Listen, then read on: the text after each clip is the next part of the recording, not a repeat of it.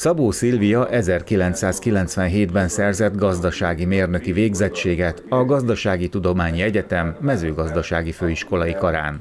2020-ban a Miskolci Egyetemen humán erőforrás menedzser diplomát szerzett. 1998-ban kezdett el dolgozni Kazincbarcikán a Prosperitás Vállalkozásfejlesztési Alapítványnál pénzügyi elemzőként.